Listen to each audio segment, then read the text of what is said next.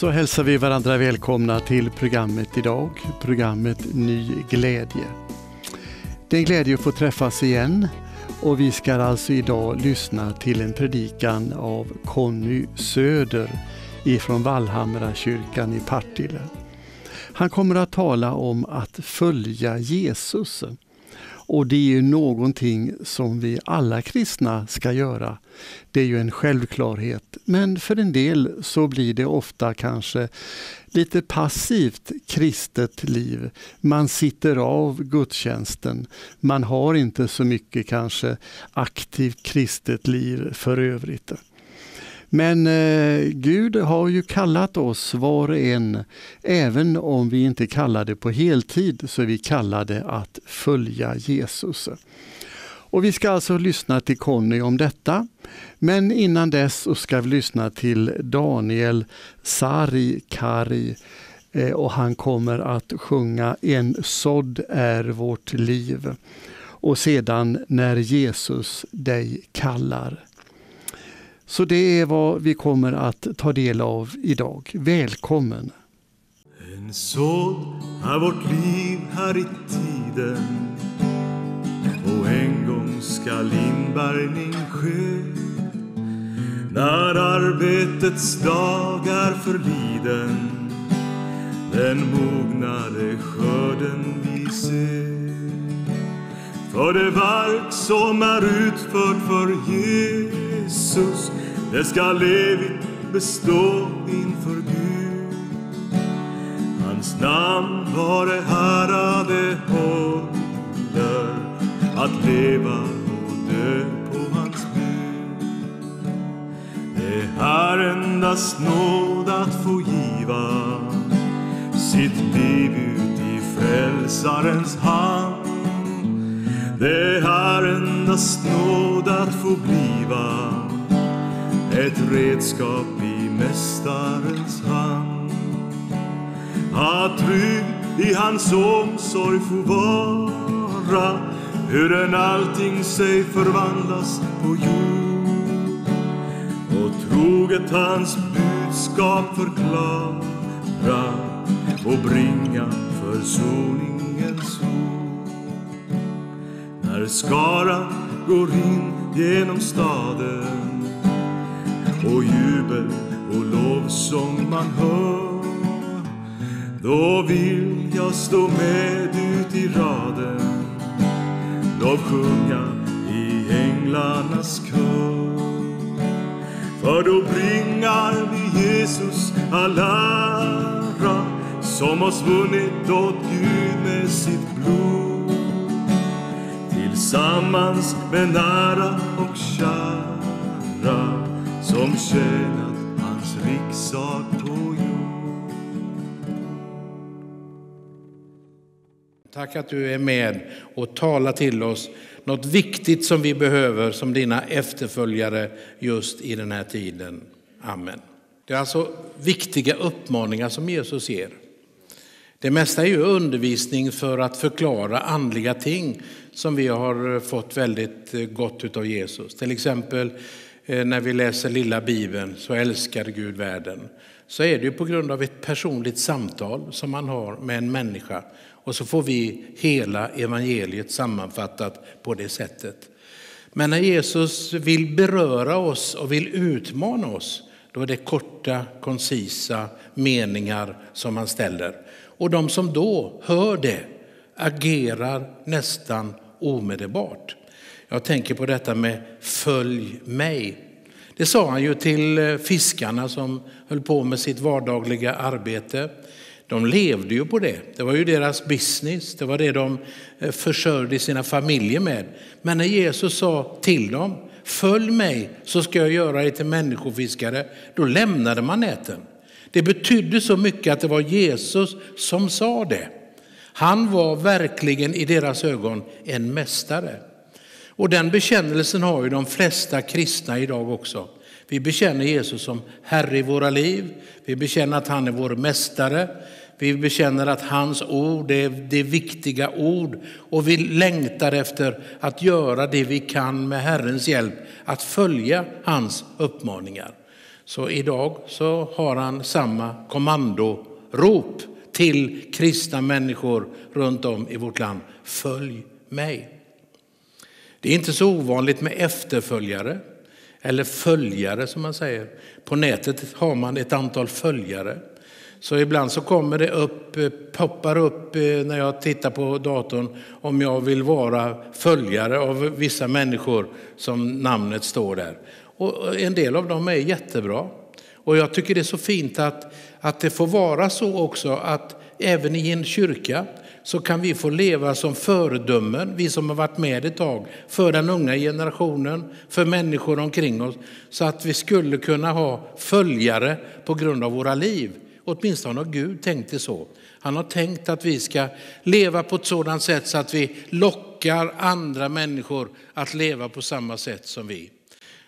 Ibland när man frågar en del människor som har varit med i kyrkan länge, så, så fråga, är det någon som har betytt lite extra mycket för dig under din uppväxt?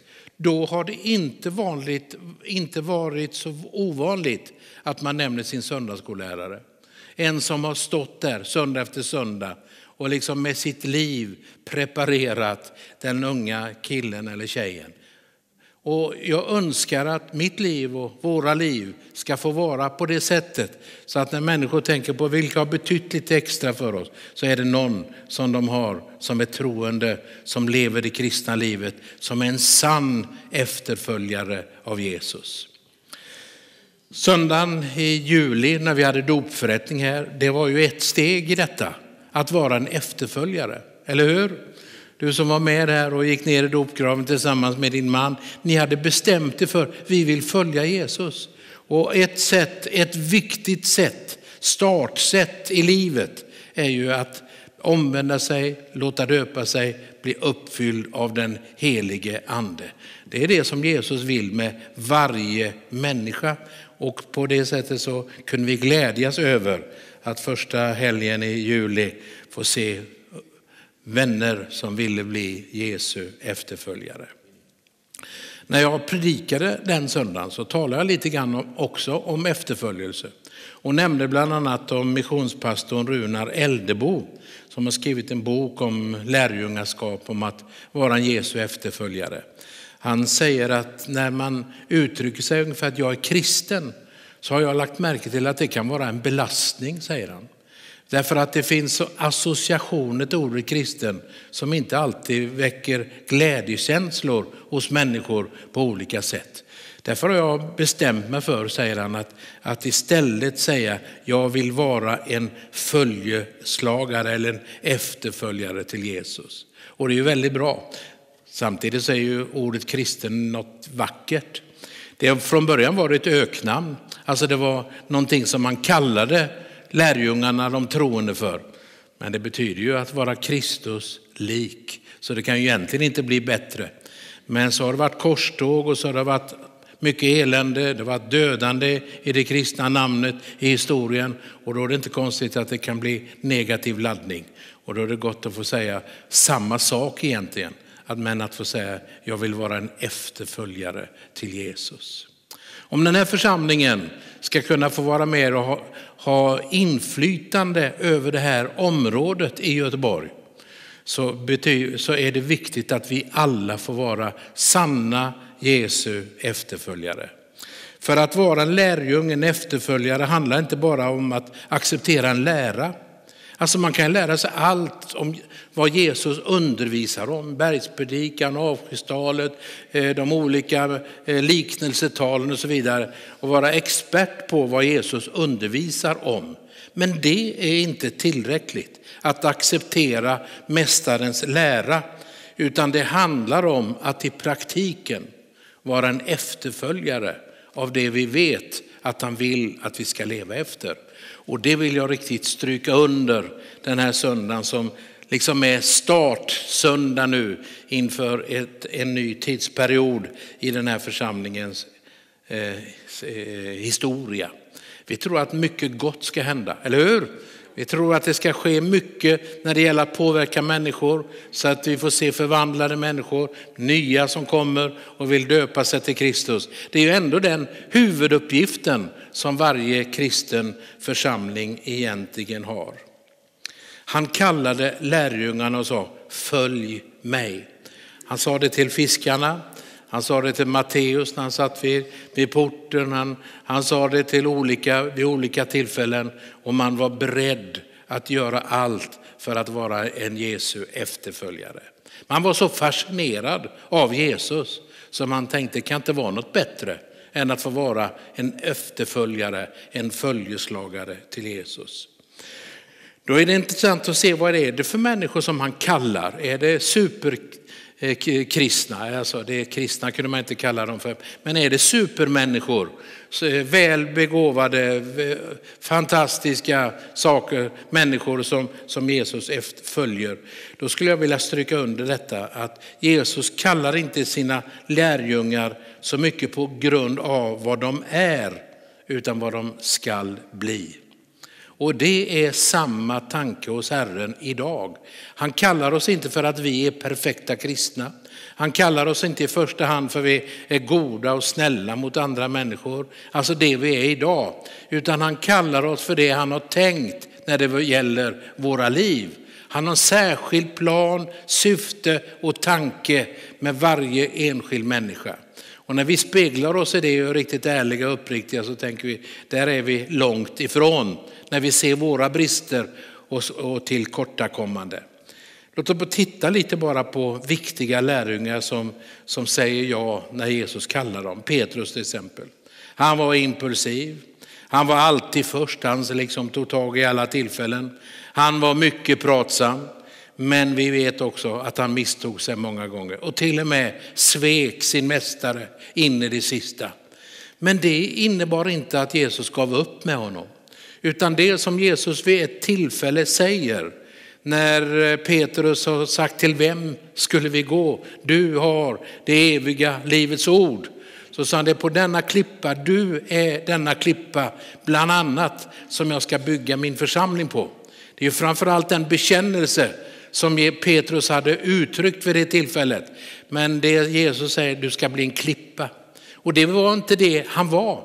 Men i vandringen tillsammans med Jesus dagligen, när han blev fylld av den helige ande på pingstdagen, så blev han den klippa som Jesus från början hade sett hos honom. Och jag är glad om vi alla kan liksom få känna, vi är på, vi är på utveckling. Gud arbetar med oss. Han håller på att forma oss. Vi vill umgås med honom varje dag. Vi vill vara beroende av den heliga ande. Och till slut så ser vi att mer och mer utkristalliserar sig den tanke och den plan som Gud har med våra liv. Tänk på Johannes. Han kallas ju småningom för kärlekens apostel, men inte när vi läser honom, om honom och hans bror i början. Då kallas han för Oskans söner. Det är inte dåligt. Hetlevrade, när de en gång kommer tillbaka till Jesus och säger att de tog inte emot oss i den här byn.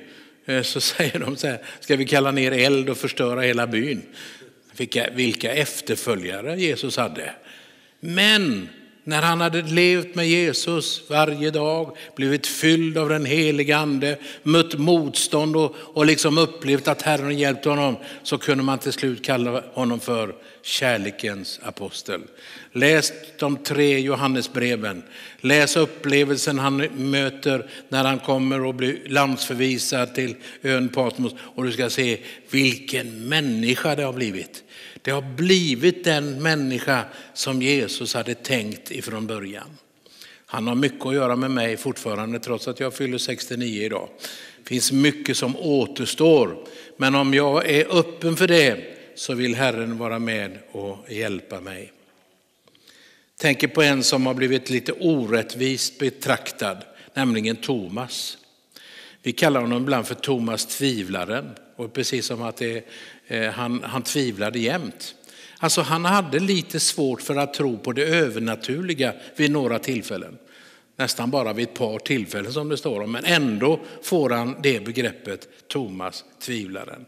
Men kyrkohistorien och, och, och eh, eh, berättelser runt om talar om att han, han var villig att ge sitt liv. Han kom bort till Indien och startade mission där. Det gör inte en tvivlare, utan han hade varit med om någonting. Och en del av det vet vi eftersom vi har läst. När Jesus uppenbarar sig för lärjungarna så står det att han vid, vid första tillfället så är inte Thomas med. Och när Thomas kommer tillbaka till sina kompisar där så säger de, han har varit här. Han har visat sig för oss. Det stämde det han hade sagt, att han skulle uppstå igen på tredje dagen. Då säger eh, Thomas någonting som jag tycker är bra. Då säger han, jag kan inte tro på det om man inte själv får vara med om det. Han litade inte enbart på andras berättelser och omdömen. Han ville själv vara med om en egen erfarenhet. Och tänk att Jesus han ser med välbehag till det. Så nästa vecka, nästa eh, stora veckodag, söndag, så kommer Jesus igen. Enbart för Thomas skull. Och Thomas hade sagt om jag inte får se hålen efter spikarna och den uppstungna sidan och känna det här så kan jag inte tro. Ibland har vi väldiga eh, önskningar för att kunna tro. Eh, och så hade ju Thomas också. Men när Jesus kommer och visar sig för honom där så behöver han inte varken det ena eller det andra.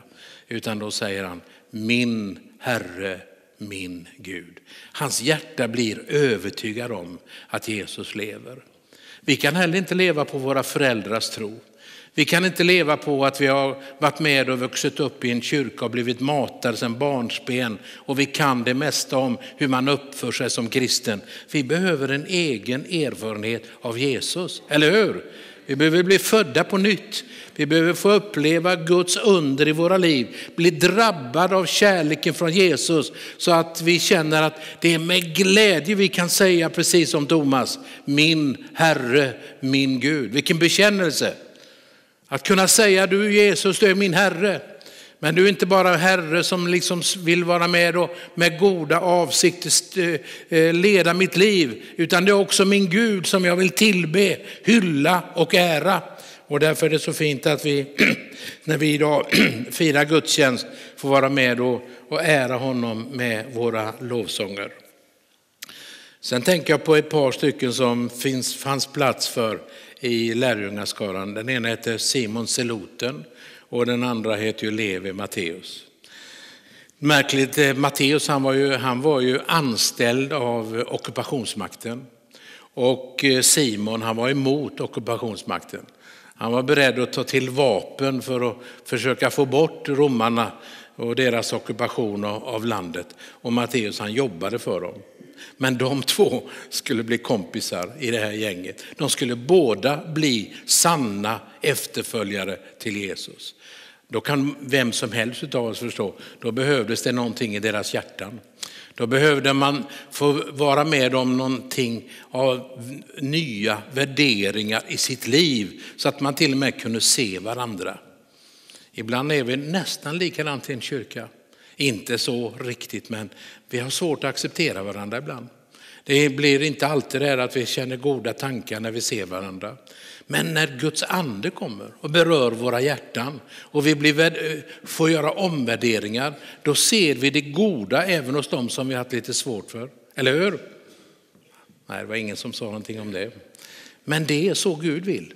Han vill inte att vi ska gå omkring och, och tänka snett om någon. Han vill inte att vi ska liksom, eh, ha en förutfattad mening av någon människa i kyrkan eller någon annanstans på grund av vad de tidigare har stått för. Utan vi ska vara med och välsigna varandra. Och Jesus han säger till och med att vi ska välsigna de som förföljer oss. Det är det som är lite grann av nyckeln i att få vara en sann Jesu efterföljare. Det är att tänka gott om varandra. Och det kan vi få träna i, i en lokal församling. En väldigt bra träningsplats i detta att tänka gott om varandra. Vi har olika bakgrunder, vi har olika personligheter, vi har olika temperament och så vidare. Vi tycker lite olika. Men i församlingen så får vi med och lära känna varandra och välsigna varandra och tacka Gud också för olikheterna. Det ingår i att få vara en Jesu efterföljare. Så det är ju ett under att Simon Seloten och Matteus kunde vara kompisar. Och båda dessa fick vara med och ha förtroende av Jesus att vara hans efterföljare. Så du som tycker att du kanske är lite annorlunda, du som tänker så här att jag platsar inte i den här fina församlingen. Eh, I den församling som jag tidigare jobbade i, eh, uppe i Kumla, så hade vi ett fint arbete bland utslagna, LP-vänner som vi brukar kalla dem för. De hade lite svårt att gå till en vanlig gudstjänst. Jag tyckte så mycket om dem, men de hade så svårt. Därför att de sa, vi passar inte bland dessa präktiga människor. Och jag skulle önska att Vallhamra kyrkans medlemmar blir kända för att där är det en välkomnande famn. Där passar alla in, vad man än har för bakgrund. Därför att där är vännerna sanna Jesu efterföljare. Så att även oliktänkande, människor som är lite annorlunda, lite udda, känner att där hör vi hemma. Därför att där finns det människor som tycker om oss, som älskar oss. Det märks i gudstjänsten, det märks i kyrkkaffet, det märks när man jobbar tillsammans i olika arbetsgrupper. Tänk att vi platsar här. Därför att Gud älskar oss och vi tillsammans får vara Jesu efterföljare.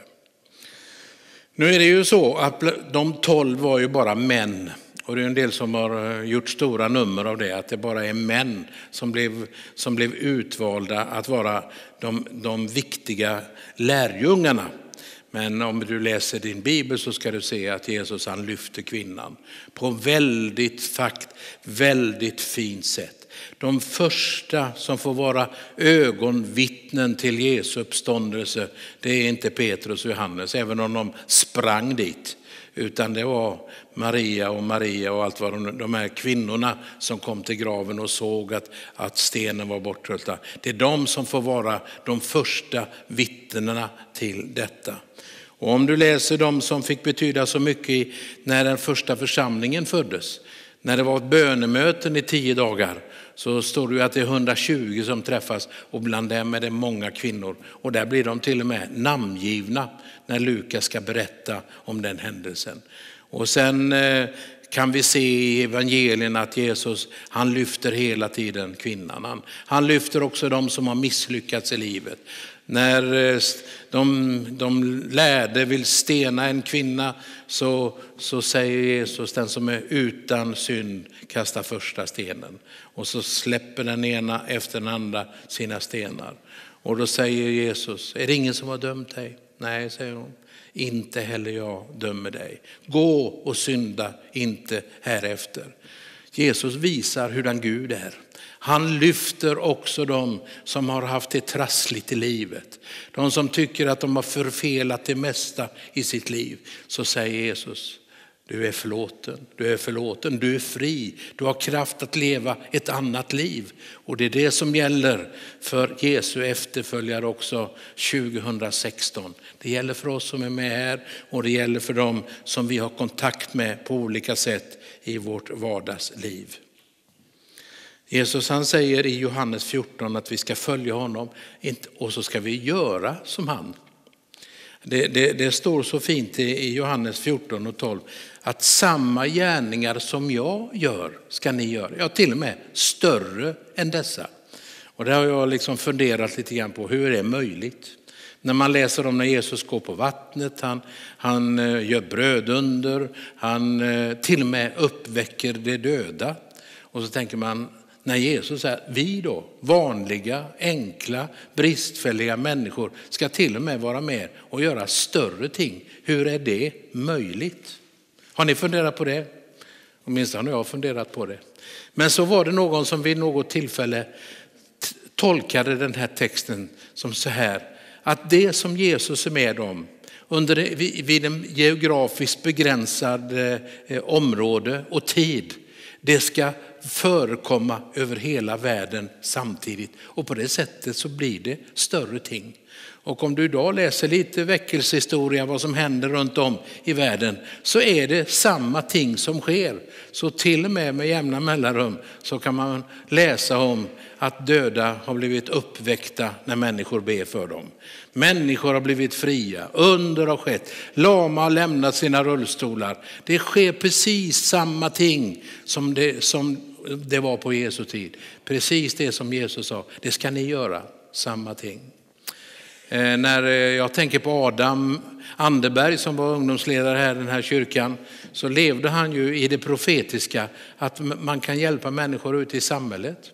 Igår tittade vi på en video, Rosmarie, min fru och jag, eh, om redskap som Gud använder på, på märkligt sätt rakt ut i samhället. Och då tänkte jag, det är precis så de gjorde i Partille torg. Då, då, de, då de frågade om det är något de vill ha bönehjälp med och så bad de och så försvann verken och, och så blev det någonting som skedde där. Och de står där alldeles häpna de här människorna som har fått förbön. Man gör samma sak som Jesus. Och det vill ju Jesus att vi alltid ska göra. Inte enbart när vi har förbönstund i kyrkan, utan kanske speciellt när någon arbetskamrat eller någon som lever oss nära kommer i, i kris och svårigheter av olika. Tänk att vi då kan säga, eh, jag skulle önska att jag kunde hjälpa dig. Det jag känner att jag kan, det är att be för dig. För han som jag älskar, han som jag följer, han har lovat att när vi ber för varandra så händer någonting. Amen. Han vill göra oss till sanna efterföljare som gör gärningar, Jesu gärningar och kanske till och med större, mer omfattande idag. Och det är verkligen ett stort behov utav detta. Sen så tycker jag om det Jesus säger till eh, fiskarna där, alltså inte till fiskarna utan till fiskarna. Ja, den hängde ni inte med på. Men till de som fiskade så säger han att eh, jag ska göra er till människor fiskare. Alltså de hade ju, det var passionen för dem på något sätt, det var levebrödet för dem. Men nu skulle det bli en annan dimension. Nu skulle de få fånga människor billigt talat. Nu skulle de få se människor bli förvandlade. Men det var inte de själva som skulle åstadkomma detta. Utan Jesus säger att, eh, att han som har kallat dem ska göra dem till människofiskare. Vi är kallade att vara med och hjälpa människor att komma till tro. Vi är kallade till att vinna människor för Gud. Vi är kallade till att se hur Guds ord kan förvandla människor på olika sätt. Men inte på grund av att vi är så duktiga i oss själva. Eller att vi är med i en alldeles suverän församling. Utan därför att vi är kallade till att vara Jesu efterföljare. Amen. Och han har lovat att vara med oss och göra oss till sanna, äkta människofiskare. Så vi ser när det finns ett behov, så vi ser när det är rätt tid för att säga ett ord och så får vi känna att vi går i det som Jesus redan har förberett oss på. Jag skall göra er till människofiskare. Jag tycker det är gott att veta det att när han säger följ mig så är det inte liksom ansträngning från min sida som är det avgörande, utan det är att jag säger ja. Och sen leder han och hjälper och stöder och ger mig den kraft som jag behöver. Men samtidigt så vet jag ju att på samma sätt som de första lärjungarna behövde formas, behöver förändras i sitt liv, så behöver vi det också. Och då ser vi ju så tydligt när, när vi läser i Nya Testamentet, till exempel i Romarbrevet 8 och 29, att vi formas efter hans sons bild. Det finns, en, det finns någonting att, att eh, jämföra sig med. Och vi kan aldrig nå upp till den måttstocken, så det liv som Jesus levde, men vi kan formas efter det. Om vi tillåter Jesus, tillåter Guds ord att, att mata oss och forma oss så att vi kan bli mer och mer lik Jesus för varje tid som går. Det står till och med i det andra Korinthierbrevet kapitel 3 att vi förvandlas till samma avbild. Så det bör inte vara eh, detsamma med mitt liv nu som det var för tio år sedan. Jag kommer ihåg när jag gick ut på fältet som man sa, började som församlingsarbetare i Örebro. Eh, och, och, sen var jag på en del andra platser. Och så efter några år så kom jag hem till Smyrnaförsamlingen. Och så säger de, du är dig helt lik. Säger de. Det var en dålig bedömning. Va? Det borde ju vara bättre. Men jag förstår ju vad de menade. De tyckte om sättet och tyckte om liksom, eh, utstrålning. Och det. Men om det hade varit riktig sanning över det så är det tragiskt. Om man har varit ute och hjälpt människor på olika sätt i fem års tid och är precis densamme, då är det inte mycket att ha egentligen. då är det en dålig utveckling, eller hur? Och så är det ju med oss alla. Vi får liksom inte sätta oss till ro och liksom tänka att allting är bra. Vi får inte hamna i det att, att vi är nöjda med hur det ser ut idag i våra liv. Vi kan alla sporras när vi läser om Jesu liv till att eh, formas mer och mer. Och då ligger det på vårt ansvar att låta oss formas. Det handlar om att ta tid med Jesus, det handlar om att läsa Guds ord. Det handlar om att mata sig med Guds ord i gudstjänster och liknande. Det handlar om att eh, lära sig av, av gemenskapen i församlingen så att vi kan formas till hans sons avbilder. Och en del av oss till och med förvandlas efter bilden. Därför att bilden som vi har med oss inte är så där väldigt bra och, och, och, och fin, men den kan bli förvandlad. Och därför är jag så glad över att kunna säga till oss idag, vi kan börja den vandringen just nu. Vi kan säga ja till Jesus. Jag längtar efter att vara en sann efterföljare till dig. Men jag vet så väl hur dålig människa jag är. Men tänk att Guds nåd kan hjälpa oss. Guds, Jesu Guds blod kan rena oss och vi kan bli förvandlade människor. Och åtminstone så kan vi bestämma oss för att det borde se annorlunda ut i mitt liv. Hjälp mig med det. Och den helige ande, hjälparen, han vill inget annat än att hjälpa oss att växa och mogna som Kristus. Till slut i första Johannes 3 så står det till och med att det kommer en dag när Jesus kommer. Då vi ska bli lika honom helt och fullt. Så det är ju det är planen Gud har. Det är så han arbetar med oss. Men vi behöver tillåta detta. Sen önskar man ju att, att eh, samma kännetecken som Petrus och Johannes fick, att det ska eh, också vara bedömningen över våra liv. Det står i Apostlagärningarna 4 där att eh, när, man när man står inför rätta för Stora rådet så är man så förvånad över deras frimodighet. Och då, då, då står det så här eh, att de förstår nu vad gemenskapen med Jesus betytt för dem, säger Levande Testamentet. Och att det blev så. Att eh, dina arbetskamrater, våra vardagskontakter börjar ana och förstå varför vi liknar Jesus mer idag än tidigare. Vad det betyder för oss att leva i Jesus-relationen. Följeslagare till Jesus. Eh, om du tittar på ordförklaringen omkring eh, att vara en kristen, att vara en lärjunge, så handlar det om en som tillhör Jesus, anhängarna. Idag dämpar vi lite grann av det. Vi vill vara lite försiktigare. Vi vill inte tydligt säga att Jesus är den enda vägen till Gud. Och nu har det varit en debatt under ett tag då man till och med vill dölja korset på något sätt. Och när andra lyfter korset så, så blir det debatt omkring det. Men Gud vill hjälpa oss så att vi är tydliga Jesu anhängare så att vi kan liksom bedömas på det sättet att de märker att vi har med Jesus att göra. Att vi tillhör Jesus anhängarna. Så behovet som den kristna församlingen har idag det är att vi får en ny och sann bild av Jesus. Så att vi har någonting att berätta för andra människor. Det är allt som vi pratade om igår kväll i den här kyrkan, som vi vill göra under hösten, är beroende av enskilda människor som har en äkta Jesus-upplevelse och som inget annat vill än att stå för det. Att leva ut den bilden, att berätta om vad Jesus betyder. En sann bild av Jesus. Någon har uttryckt det så här att ju sämre bild vi har av Jesus, desto sämre efterföljare blir vi. Ju rikare bild vi har, desto rikare blir vårt liv som, eh, som människor som följer Jesus. Det längtar jag efter. Och jag anar att vi som finns med här idag, vi har den längtan.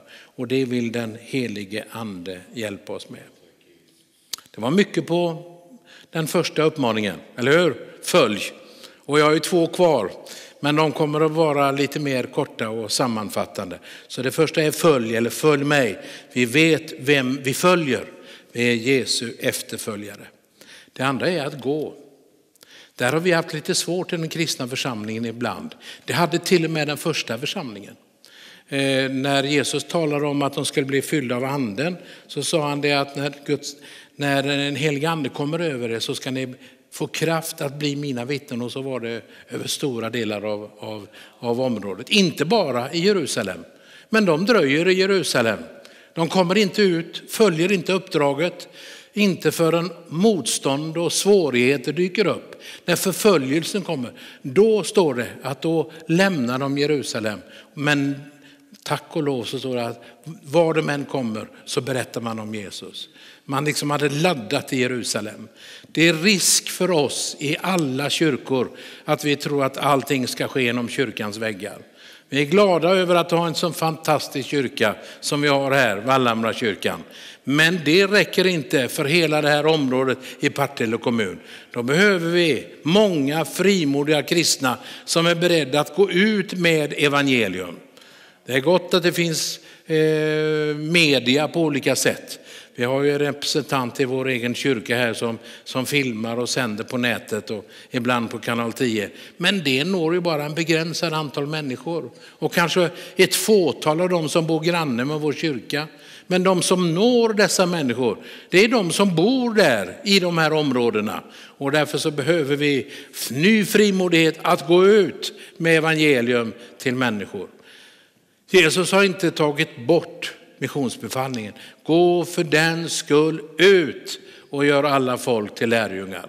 Det har han inte tagit tillbaka. Det kommer att gälla tills den stunden då Jesus kommer tillbaka och, och, vi ska få se honom precis sådan som han är. Missionsbefallningen gäller. Så det var bara, det behövdes omständigheter som var svåra.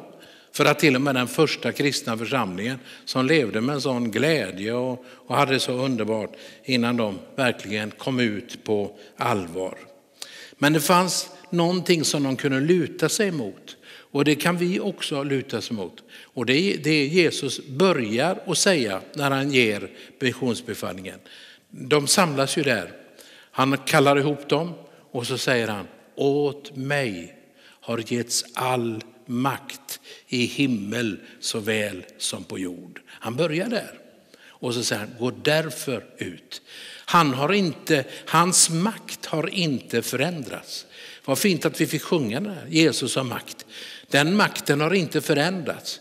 Han, han, är inte bara en religionsstiftare bland alla andra religiösa människor. Han är den suveräne.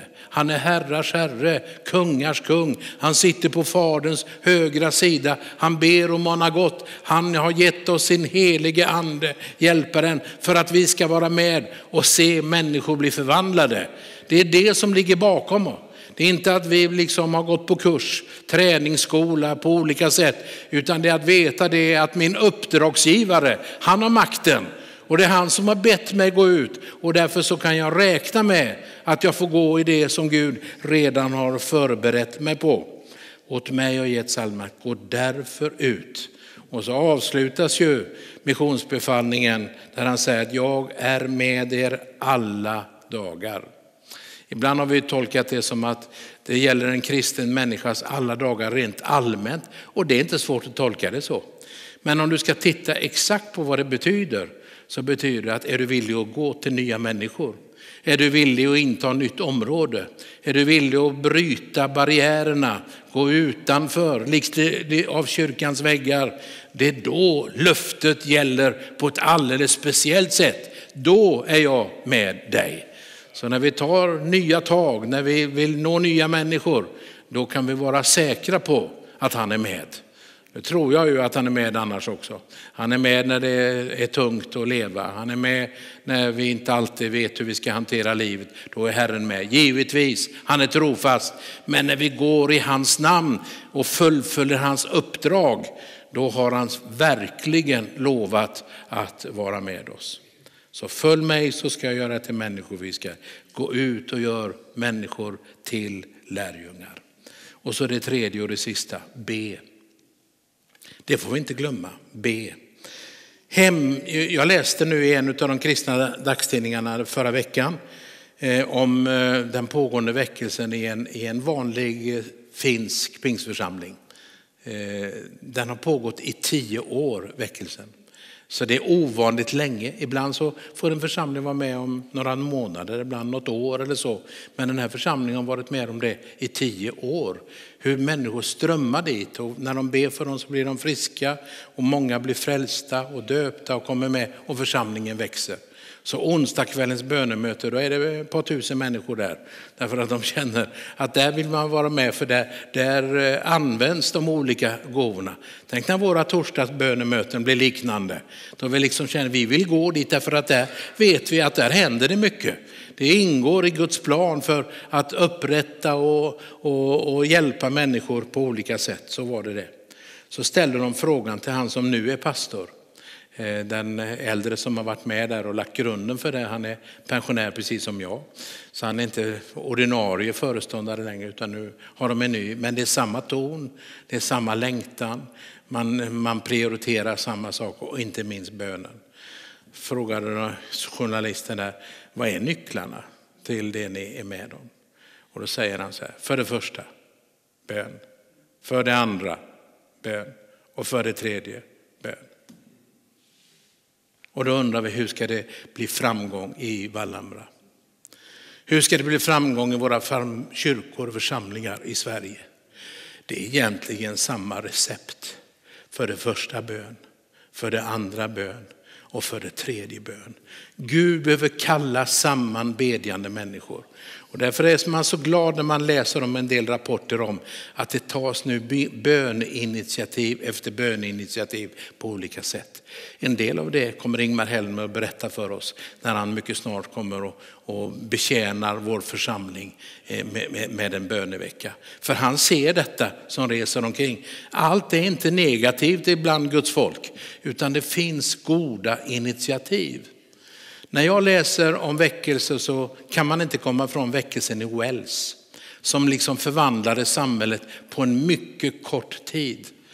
Men det var ingen kort tid innan, utan under en tvåårsperiod så träffades man i bönegrupper och så hade alla en, en bönelapp som vi sen ibland har tagit efter, där det står Låt detta bli ditt dagliga bönämne. Sänd en väckelse och börja med mig. Sådana lappar skulle vi behöva idag också i alla kyrkor. Sänd en väckelse. Och sen inte glömma av resten. Börja med mig. Börja med mitt liv. Börja på ett sådant sätt så att jag blir ett redskap för det som du vill i den här tiden. Och då säger Jesus någonting om, om eh, att vi får en ny dimension av vårt böneliv. Och jag ska läsa från Johannes evangeliet det 14 kapitlet, den 13 versen, där det står så här. Eh, vi kan läsa 12 eftersom jag citerat den förut. Jesus säger, jag säger i sanningen, den som tror på mig ska göra de gärningar som jag gör och större än så ska han göra för jag går till Fadern. Och så kommer det, och vad ni än ber om i mitt namn så ska jag göra det för att Fadern ska bli förhärligad i Sonen. Om ni ber om något i mitt namn så ska jag göra det. Det handlar om den auktoritet som Jesus har. Det handlar inte om vår förmåga att uttrycka oss i bön, utan det handlar om att, att vi blir ett med den makt och kraft som Jesus själv har. Och då vågar vi också begära stora ting.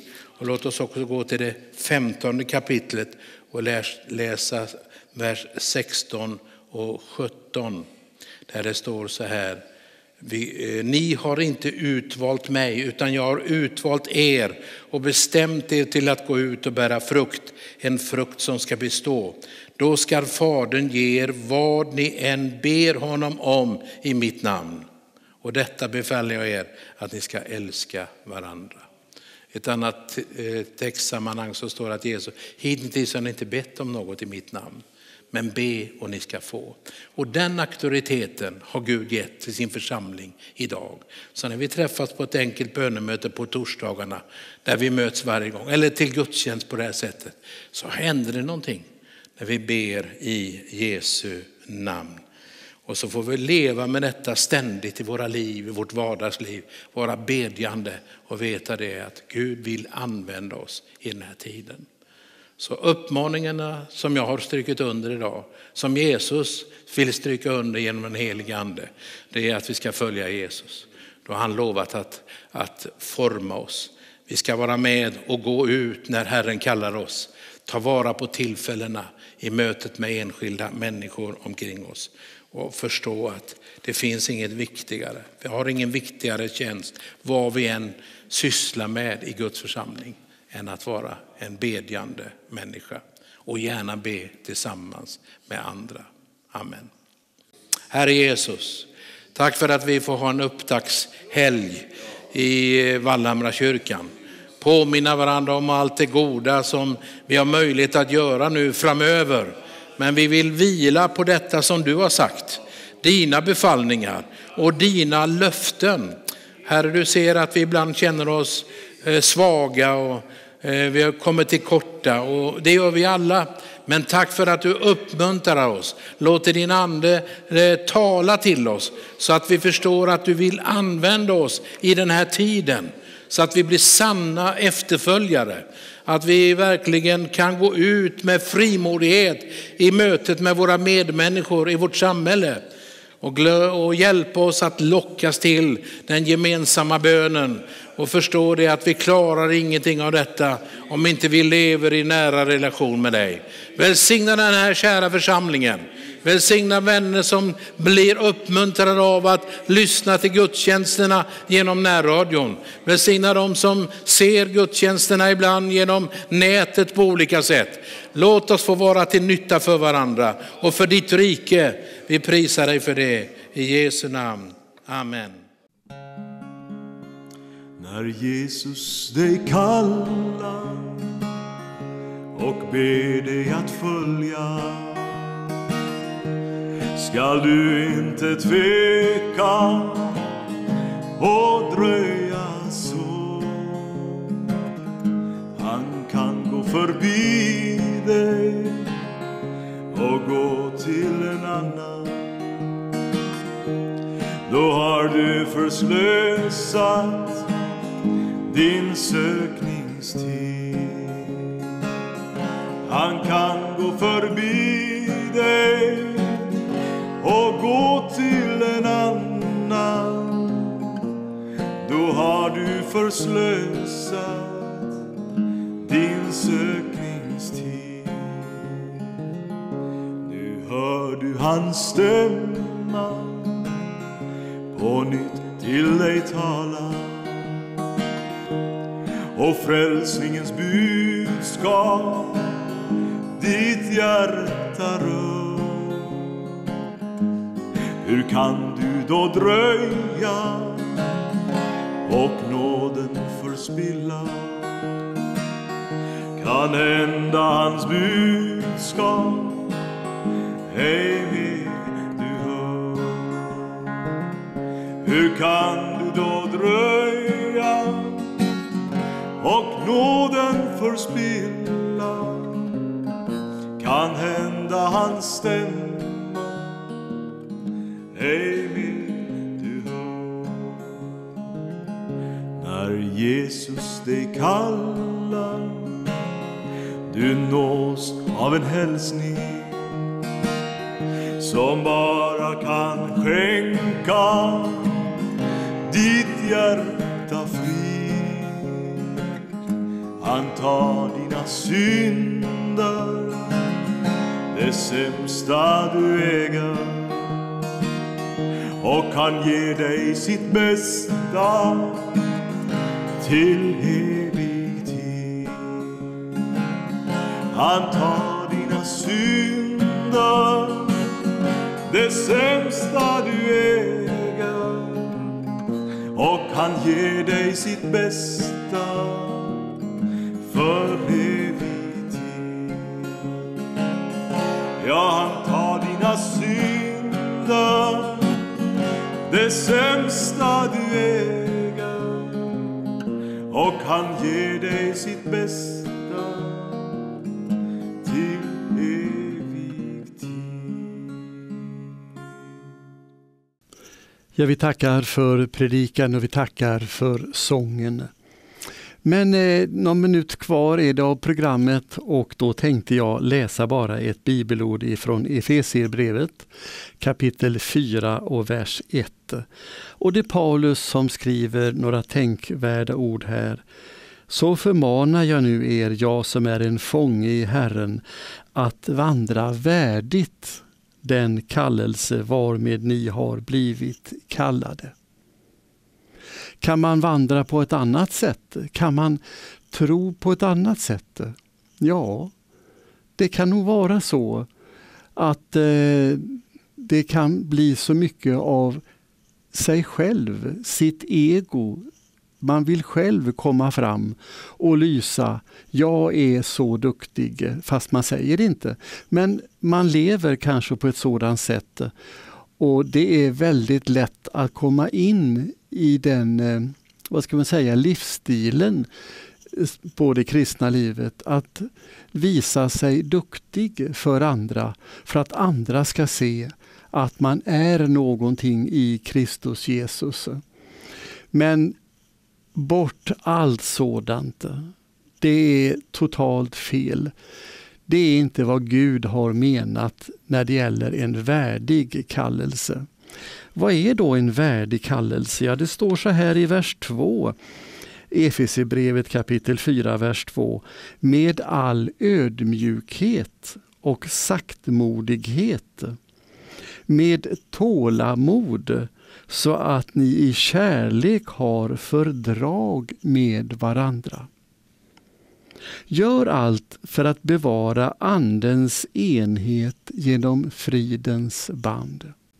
Och följer vi det här som vi kan läsa i bibelordet Gör allt för att bevara Andens enhet genom fridens band. Ja, då tror jag det finns förutsättningar för att Gud kan också verka i den kallelse han har kallat oss. För annars kan det bli så att Gud stänger till när vi själva vill komma fram och det är ju totalt fel som jag sa. Nej, ska han komma fram med eh, sin kraft, den heliga Andes kraft, ja då måste vi vara öppna för honom, ödmjuka oss. Vi måste, om det står, ödmjuka oss och ha, vara saktmodig, ha tålamod och kärlek och ha fördrag med varandra. Ja, det finns mycket att lära av Guds ord. Så eh, det känns bara gott att få läsa ordet och veta hur man ska leva att följa Jesus. Ett annat ord jag läste här, vi har någon minut kvar, det står i eh, första Korintierbrevet 7 och 20. Var och en ska förbli i den kallelse som han var i när han blev kallad. Här har vi också en, eh, en uppmaning att vara kvar i kallelsen tills Jesus säger något annat. Alltså om kallelsen skall ändras eller något annat. Vara kvar i kallelsen. För det är ju så lätt då som vi sa att man vill själv komma fram och så tänker man Ja, men jag skulle nog vilja vara som den eller den eller jag skulle nog vilja ha en sån kallelse. Ja, men, och så försöker man själv att eh, komma in i någonting eller göra någonting precis som eh, den eller den personen. Och då tror man att man är i smörjelsen. Nej, det är ju fel. Utan det som Gud har kallat oss till, det skall vi utföra. Och det är då som det sker någonting. Det är då som den heliga Ande kan verka i oss och vi kan leva så som Herren vill vi ska leva. Ja, det var några tankar om just det här med kallelse. Eh, det är ju så oerhört viktigt detta och jag tänker på ett annat bibelord. Eh, han har kallat oss med en helig kallelse. Det var ju inne på lite här förut. Och det kan du läsa i Andra Timoteusbrevet 1 och 9 och ni som har blivit delaktiga av en himmelsk kallelse, Hebreerbrevet 3 och 1. Ja, det finns mycket att läsa om det här med kallelse. Så känner du att du vill följa Jesus och gå i, det, i den kallelse som han har för dig. Och eh, framförallt kanske du inte vet vad du har för kallelse. Givetvis är det ju att vinna människor för Gud. Men ofta är det så att det som vi själva tycker, ja det där, det där skulle jag nog eh, vilja hjälpa till med om man säger så, eller det skulle jag vilja göra. Jag kan bara säga för min egen del, jag kom ju till tro när jag lyssnade på radio och det var ju lite teknik i det hela och idag så har jag möjligheten att via TV sprida Guds ord så här. Så jag tror att eh, där var det tekniken som Gud såg. Han kanske kan hjälpa till med det. Han är intresserad. Så det finns kanske också någonting där som du kan tänka om du känner dig osäker. Vad är det Gud vill att jag ska göra? Förutom att allmänt så att säga vittna för människor och leva ett kristet liv. Ja, det var mycket kring det hela. Jag tackar dig för idag och önskar Guds rika välsignelse. Tack och hej!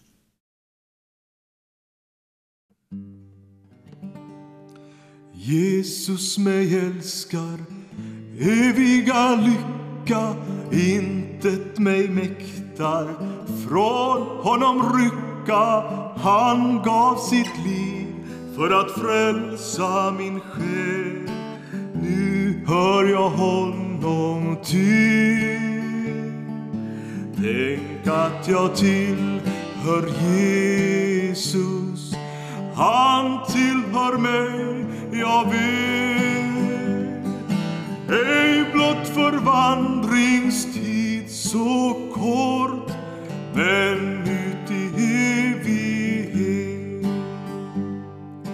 Jag var förlorad, synden mig fängslat, Jesus mig frälst från allt som har fängslat. Han lyfte mig upp ifrån sorger och skam.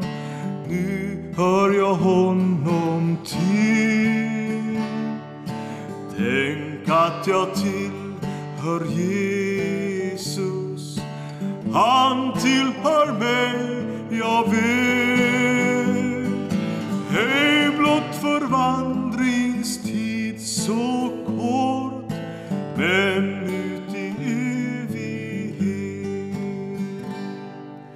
Glädjen nu strömmar in i mitt hjärta löst ifrån träldom friad från smärta är jag igenom frälsarens blod nu hör jag honom till Tänk att jag tillhör Jesus. Han tillhör mig, jag vet. Ej blott förvandlad